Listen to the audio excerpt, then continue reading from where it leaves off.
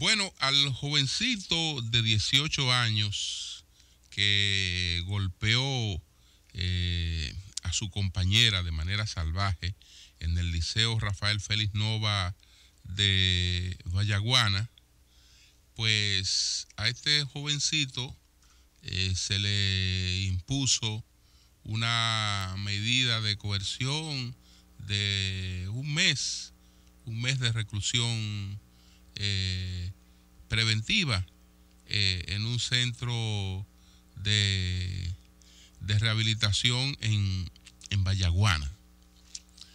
Y el Ministerio Público había solicitado tres meses, el juez eh, pues estableció un mes. Bueno, yo creo que lo importante, lo importante aquí es que el caso se aproveche para una intervención profunda. Yo estoy de acuerdo que se trata de un niño, apenas 18 años de edad, eh, una persona a la que la sociedad debe dar la oportunidad del, del, arrepentimiento, una persona a la que la sociedad debe tener los mecanismos de hacerle entender que eh, estaba actuando de manera incivilizada, eh, que estaba actuando como un antisocial.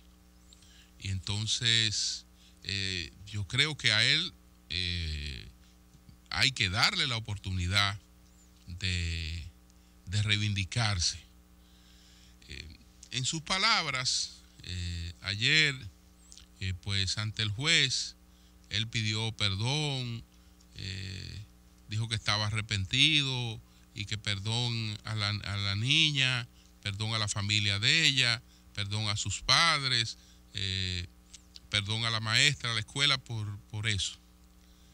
Bueno, eso pudo haber sido la sugerencia de su abogado, de, algún tutor, que le planteó, mira, para poder enfrentar esta situación, tú tienes que pedir excusas.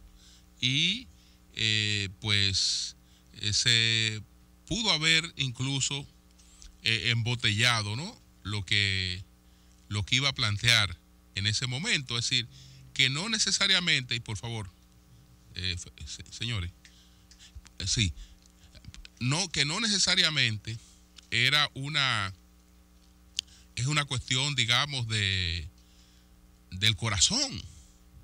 La sociedad tiene que hacer que su arrepentimiento sea un arrepentimiento real, no, no un formalismo para salir, para salir de un momento, eh, para salir de una, de una situación eh, pues como la que está. Pero para esto se requiere de una intervención un poco más profunda, porque yo creo que lo que ese jovencito ha mostrado temprano es lo que trae, es lo que trae de su entorno, es lo que, es lo que la sociedad le, le ha dado hasta ahora, y eso es lo que él ha mostrado. Entonces, en este caso, las instituciones que son especializadas en esta materia debieron o deben, junto con el Ministerio Público, hacer una intervención en esa familia, hacer una intervención en ese entorno y ver qué es lo que qué es lo, qué es lo que qué es lo que ese niño qué es lo que ese niño aprendió, qué fue lo que se le enseñó a ese niño. Y ver cuál es el cuadro que hay en la familia de ese niño. Hay que ver cuál es el cuadro. Eh, ayer cuando salían de, del juzgado, una periodista se acercó al padre para, del niño para preguntarle, del jovencito, para preguntarle, para pedirle su reacción. Y la forma en la que reaccionó fue una forma inadecuada, eh, totalmente, eh, apartándole el micrófono. No, ya yo dije lo que iba a decir. Es decir, en una, en, una forma eh, que traducía violencia. que traducía violencia. Entonces, eh, no hacemos nada con que él tenga un mes de coerción. No, no, no. Esto, ojalá que alguna de las, de las entidades especializadas lo aproveche para una intervención. Mira, vamos, vamos a tomar el caso de este jovencito y ver por qué este jovencito actuó así en su escuela. Entonces vamos a ver qué es lo que ha pasado con él.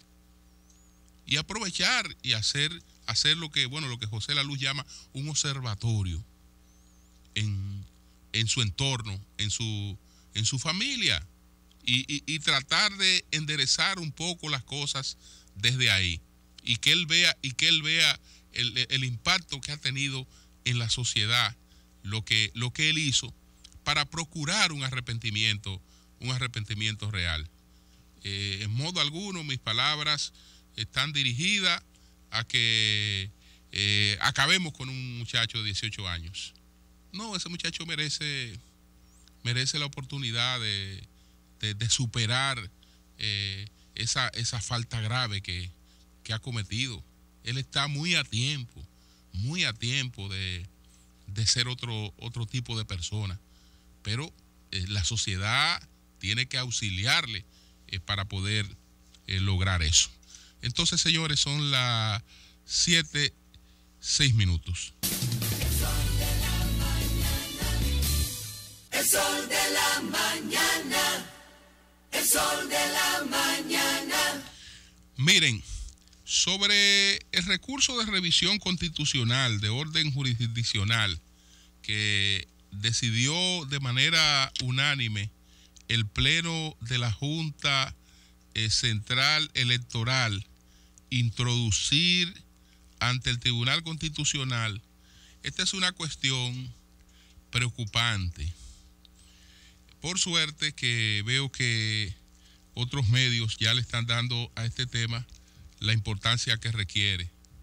Yo lo traté eh, en, en el día de ayer, eh, también me tocó hacer un, comentario sobre esa temática eh, anoche en televisión.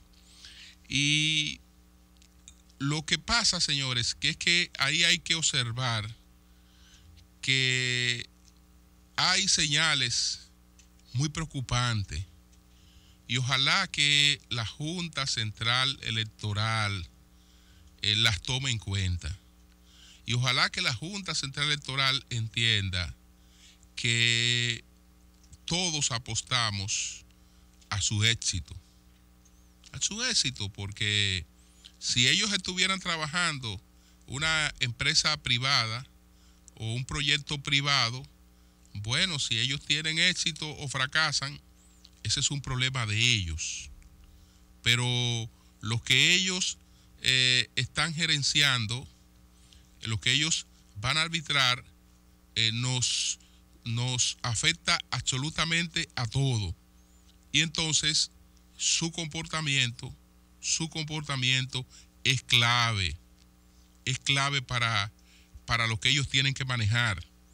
Entonces, señores, es sorprendente, es sorprendente que se produzcan tantas variaciones sobre un mismo tema en tan poco tiempo. Miren, cuando se publicó la sentencia del Tribunal Constitucional, del Tribunal Superior Electoral, el presidente de la Junta Central Electoral, el doctor Julio César Castaño Guzmán, escribió él mismo un escueto comunicado que es una belleza, es una belleza. Y, lo, y leo, leo, leo el párrafo de ese comunicado que es lo fundamental. ¿Qué dijo él cuando se dio a conocer la decisión del Tribunal Superior Electoral que anulaba eh, aquella resolución de la Junta Central Electoral en la que la propia Junta eh, desconocía una resolución que ella misma había adoptado en el tiempo hábil? ¿Qué dijo el, presidente de la Junta en este comunicado? ¿no? Yo no estoy hablando de unas declaraciones periodísticas, sino en algo, algo que él mismo escribió. Él dijo lo siguiente, y ya aquí está entre comillas, la Junta Central Electoral en el Estado de Derecho se acoge a la, a la potestad soberana de las jurisdicciones, de las jurisdicciones. La democracia funciona por la autoridad de las cortes, que se manifiesta en sus decisiones y, por lo tanto, en este caso, nuestro órgano electoral, independientemente de estar de acuerdo o no con la decisión, la respeta.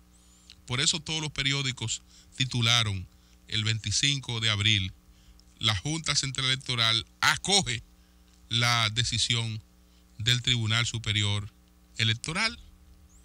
Entonces, la sorpresa es que ayer se publica la información de que esta Junta a unanimidad ha decidido eh, pues atacar esa decisión, la decisión que su presidente adelantó que iban a acoger eh, porque ellos son respetuosos de la potestad soberana de las jurisdicciones, eh, entonces que a, a unanimidad habían aprobado un recurso de revisión constitucional de orden jurisdiccional. Sorprendente porque el propio presidente de la Junta dice una cosa, pero va y vota en dirección contraria a lo que él mismo ha planteado en su comunicado. Sorprendente porque dos de los miembros de la Junta Central Electoral que votaron en contra cuando la Junta Central Electoral decidió variar las reglas de juego a posteriores eh, y, tomar medidas que afectan en términos retroactivos a terceros, eh, cosa que es totalmente inconstitucional, esos dos miembros que fueron eh, Henry Mejía y Rosario Graciano, Rosario Altagracia Graciano, cuando la Junta hizo eso, votaron en contra. ¿Por qué? Porque consideraban que eso era incorrecto, porque ya ese era un tema que había sido decidido en su tiempo por el órgano que estaba en facultad de decidir lo que era la propia Junta Central Electoral.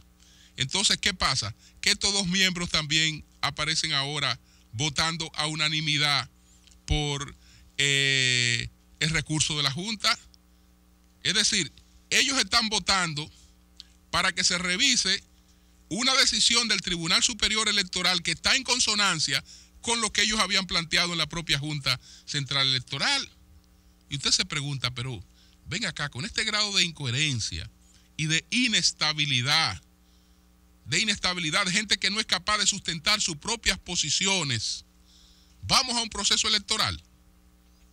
Entonces, miren, lo que ellos dicen es que eh, aquí es lo que dice básicamente el, eh, presidente, eh, el, el, recurso, que con esto, esto se está, se está afectando, que se está limitando la capacidad que tiene la Junta Central Electoral de revisar sus propias decisiones. Y eso no es verdad.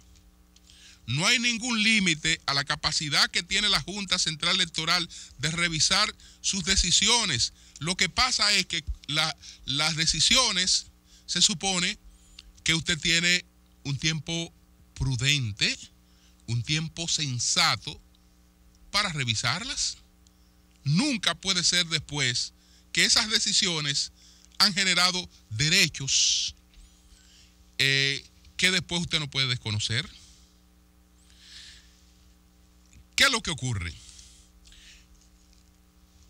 Quien tenía potestad de decidir ese tema lo decidió, que fue la Junta Central Electoral, y lo decidió el 8 de mayo del año 2016. Y los que fueron a las elecciones el día 20 de mayo del año 2016 fueron a esas elecciones en función de las reglas que el órgano competente estableció para esas elecciones. Y fueron a esas elecciones el día 20 en función de las reglas que ya estaban establecidas por el órgano competente. Si el órgano competente hubiese querido revisar esa, esa, esa decisión, tuvo que hacerlo o tenía que hacerlo antes de que se celebraran las elecciones, antes de que esa decisión ya generaran derechos adquiridos que después usted no lo puede vulnerar. Entonces, no es, no, es la capacidad de revisar sus propias decisiones. Yo le voy a poner un ejemplo. Ah, pero así como ellos desconocieron eh, revisaron esta decisión de la Junta anterior.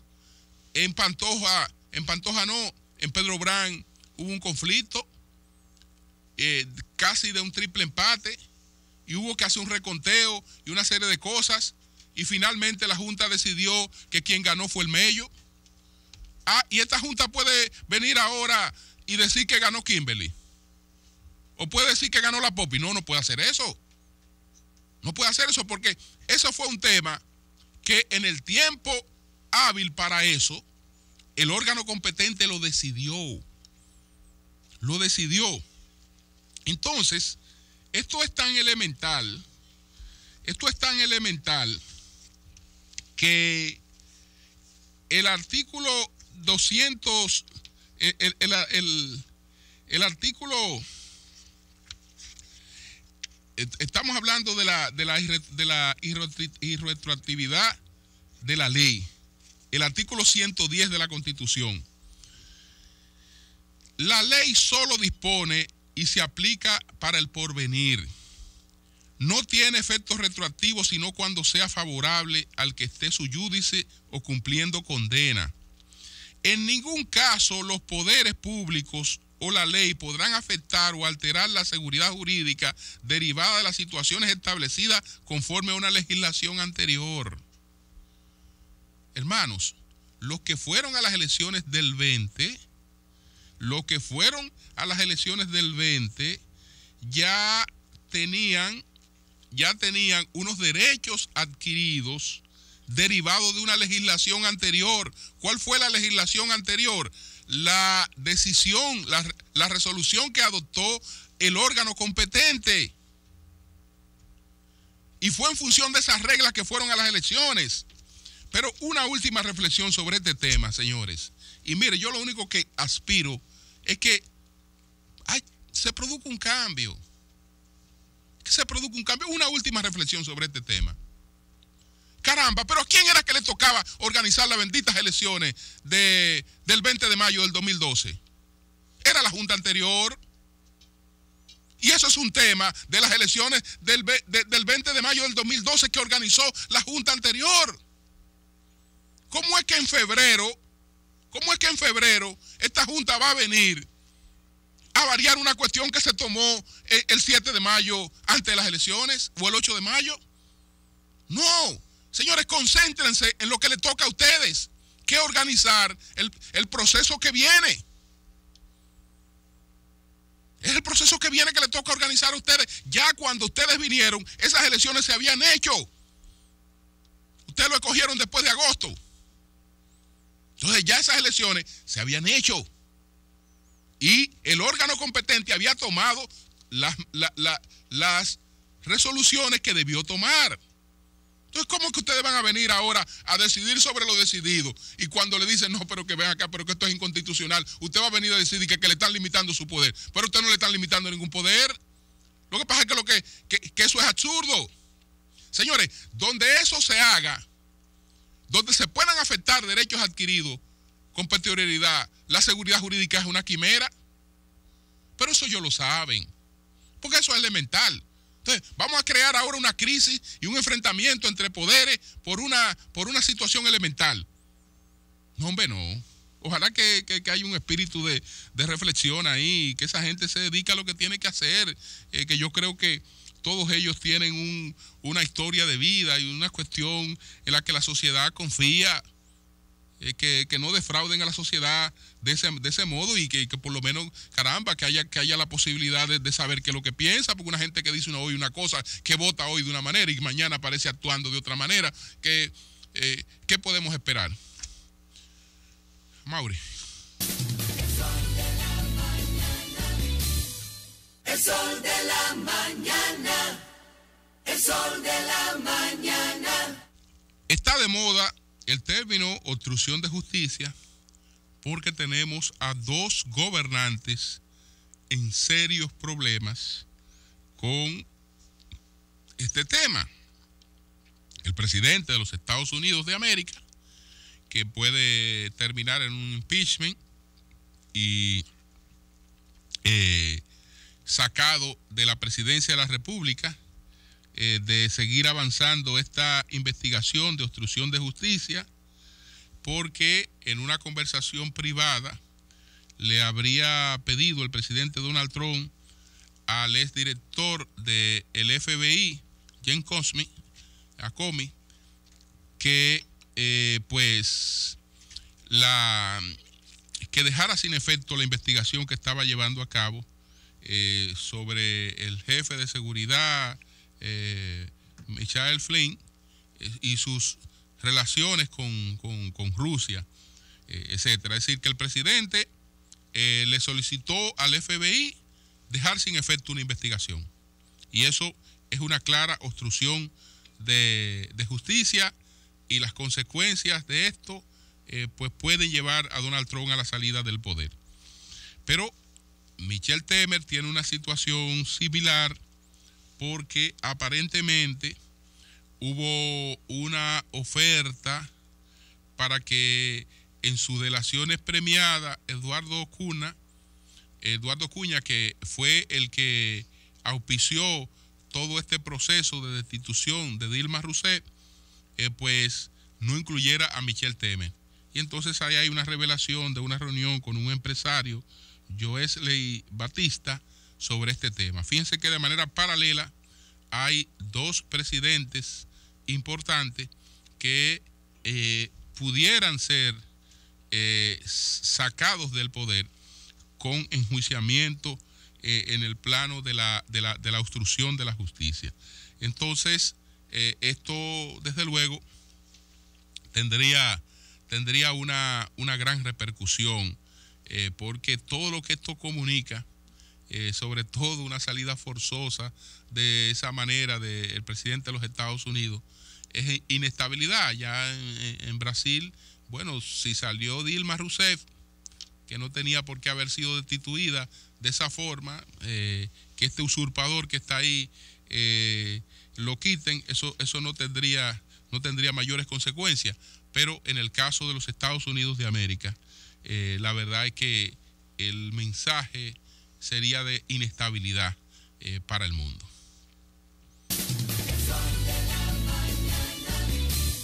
El sol de la mañana, el sol de la mañana. Bueno, llegaron los papeles. Ayer la Procuraduría General de la República mostró muchas cajas eh, que tiene, que diciendo que se va a dedicar ahora a, traducirla, a cotejarla, para eh, a partir de ahí, eh, pues, judicializar eso, ver quiénes están mencionados ahí complementar las investigaciones que tiene en su poder y a partir de ahí, eh, pues, eh, preparar los expedientes correspondientes. Hay gente que insiste en su crítica al procurador porque él se había comprometido a revelar nombres y ahora dicen, bueno, pero que este hombre ha fallado porque los nombres que se comprometió a revelar no lo va a revelar. Bueno, yo no sé cómo, porque entre la gente que está haciendo esa crítica, hay gente que ya somos bastante veteranos en este tipo de cosas. Y cuando él lo dijo, yo no creí que él podía hacer eso, y lo dije. Él dijo que iba a hacer eso, y yo dije que él no iba a hacer eso porque él no podía hacer eso. Entonces, ¿cómo si sabemos que él no puede hacer eso? Eh, decimos que le compramos la idea de que él lo va a hacer cuando eso eh, pues eh, altera todo, todo el debido proceso. No porque el procurador no tiene que convocar rueda de prensa para dar nombre de nadie. No, no, no. El procurador lo que tiene es que someter a la justicia a quien tenga que someter. No. Los medios se dan cuenta ya cuando se ha, cuando, cuando, cuando se ha producido un sometimiento. Porque muchos medios dicen Ah, llegaron los nombres de los sobornados. Tengan cuidado. Tengan cuidado que no es verdad que esos son los nombres de los sobornados. Ahí pueden haber nombres de sobornados, pero ahí hay muchos nombres que no son de gente sobornada. Ahí hay muchos nombres que no son de gente sobornada.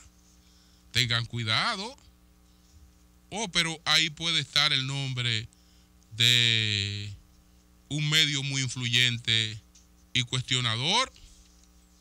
El nombre. El nombre nada más. Entonces, porque, porque el nombre esté ahí, esto implica a este medio con la cuestión de los sobornos de Odebrecht. No. Vamos a ver cómo es que esta gente aparece mencionada ahí. Ah, no. Era que ellos estaban procurando el patrocinio de una película. No sé si hubo un adelanto, una cuestión, pero estaban procurando el patrocinio de una película. Entonces, ah, bueno, porque aparezcan mencionados aquí, ya es que esta gente, no, no, no, no, eso es otra cosa, pues eso lo permitía la ley, aquí hay una ley de cine, mucha gente se acerca a las empresas, está pidiendo el eh, patrocinio eh, para películas, y esta era una de las grandes empresas que operaba en el país sin ningún tipo de cuestionamiento.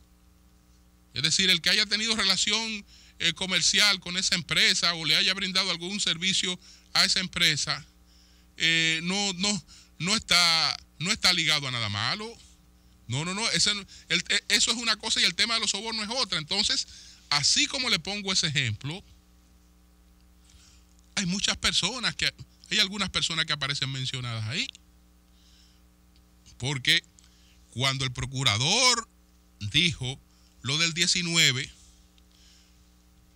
dije que de manera extra, extra porque como, como está de moda lo de obstrucción de justicia, como está de moda de lo, de obstrucción de justicia, se supone que esas cosas nadie la podía ver antes de que llegaran aquí. Entonces, o antes de que oficialmente se dijeran que estaban aquí. Por lo tanto, yo no la he visto. Y eh, claro, estoy hablando, en ese momento hablé, hablé de, de las versiones, de las versiones que uno ha podido obtener. Y dije, miren señores, ahí hay delaciones de tres fuentes. De tres fuentes. Una es el señor Marcelo Debrecht. Otra es el señor Marcos Cruz Vasconcelos. Y otra es el Departamento de Operaciones Estructuradas de Odebrecht. Esas son las tres fuentes eh, para el caso dominicano y las tres fuentes sobre las que debe haber documentos en la caja de esta Procuraduría. Y en ese momento hice un resumen más o menos de lo que cada uno de ellos ha dicho, de lo que cada uno de ellos ha planteado, incluso con relación al Departamento de Delaciones de, al Departamento de Operaciones Estructuradas, llegué a escribir un artículo, un artículo titulado Los delatores fabulistas. Y hacía alguna advertencia sobre ese, sobre ese particular que eh, ahora vemos, ahora vemos que, que un señor, el señor Fernando Miglacio, el señor Fernando Miglacio, que pertenece a este departamento de operaciones estructuradas, se han dado a conocer sus delaciones y este señor Miglacio insiste en que hubo aportes para la República Dominicana, para la campaña de la República Dominicana. Yo en ese momento, no ahora, advertí que era posible que una declaración suya fuera contraria a otras declaraciones. ¿Por qué? La señora Mónica Moura vivía en la República Dominicana y los pagos que se le hacían a la señora Mónica Moura para las campañas en las que ella estaba, se le hacían eh, en un tiempo a cuentas que ella tenía aquí en la República Dominicana. Es decir, este señor Miglacio perfectamente pudo haberle hecho pudo haberle hecho o pudo haber conocido de transferencias que se hicieran a la señora Moura. Ahora, esas transferencias no indican necesariamente que fuera para la campaña dominicana que ella ha dicho que para la campaña dominicana no hubo transferencia, que, eh, eh, que también Joao Santana ha dicho que para la campaña dominicana no hubo transferencia, pero eso no quiere decir que este señor Miglacio esté mintiendo, porque de operaciones estructuradas le pudo haber hecho a ella depósitos para la República Dominicana que no eran necesariamente para la campaña de la República Dominicana, sino a ella se le hacían aportes de varias campañas y ella tenía cuenta aquí y vivía aquí. Entonces, eh, ahí no, no creo que, que, que, esto tenga que esto tenga un mayor, un mayor impacto. Eh, hay otras personas que aparecen mencionadas como amigos de fulano, eh, legisladores que aparecen mencionados como amigos de fulano, gente que aparece que bueno, que fue a cumpleaños, que etcétera. Cuestiones así. Ahora, no quiere decir que esto sea todo el, todo el expediente. Hay, hay otras menciones. Hay otras menciones. Entonces, lo que quiero decir es que si usted ve 50 nombres ahí, si usted ve 26, 30, 40, 60 nombres, no estamos hablando de nombres de sobornados ahí pueden haber nombres de personas que estén referidas como sobornadas. Pero no todo el que aparece ahí ha sido necesariamente sobornado o está mencionado como sobornado. Por eso el procurador no podía dar esos nombres. Porque el procurador tiene ahora que ver cuál es la mención que hacen de cada quien. Si, si, si esa mención eh, eh, es imputable de, algún, de alguna investigación, imputable de algún delito. Ah, porque te mencionen a ti como amigo de una persona. ¿Y qué tiene que ver eso? Sí, somos amigos y punto. ¿Y qué, ¿Y qué tiene que ver eso? No. Una cosa es que te mencionen como amigo de una persona y otra cosa es que te tengan transferencia, que te tengan transferencia, que te hayan hecho a ti o prueba de que tú recibiste algún tipo algún tipo de cuestiones en función de soborno, ¿eh? En función de soborno. No estoy hablando de otro tipo de cosas con una empresa que tenía eh, relación con más de 300 empresas en la República Dominicana. que tiene, no que tenía, porque sigue activa. Sigue activa y está trabajando. Entonces, no, es que usted aparezca en una relación de, servicio, no. Es que aparezca ya eh, en, lo que se está investigando, que es el tema del soborno. Eso es otra cosa. Por eso hay que ser, por eso hay que ser cuidadoso. Ahora, yo no tengo la menor duda, señores. Yo no tengo la menor duda de que el que aparezca ahí mencionado recibiendo algún tipo de soborno o el que aparezca ahí mencionado como sobornador, yo no tengo la menor duda de que va a ser sometido a la justicia. Señores, ahí no hay manera de tapar a nadie. Absolutamente a nadie. Lo que sí hay son opciones distintas. ¿Cuáles son las opciones distintas? Puede que se, hagan otras negociaciones. De hecho, eh, en Brasil se han hecho muchísimas negociaciones. Se hagan otras negociaciones eh, en, los casos en lo que sea eh, posible, porque eh, cualquier persona que no sea funcionaria pública califica para, llegar a un acuerdo. De que sean acuerdos, los acuerdos son parte de la justicia y, otros eh, procesamientos y una serie de cuestiones. Pero de que ese proceso podemos tener la confianza de que va a ser judicializado, eso, eso, eso no lo para nadie absolutamente nadie.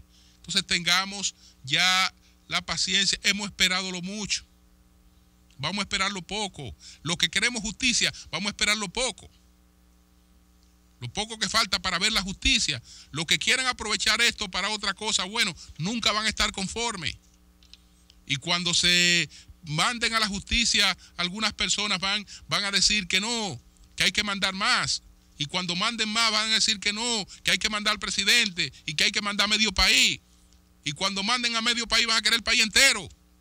¿Por qué? Porque ya, ya, ya ese tema es otra cosa, ya es un tema de posicionamiento político, no de demanda de justicia en algunos casos. Pero lo que queremos justicia, yo estoy seguro que vamos a ver justicia en el caso de este tema de los sobornos de Odebrecht.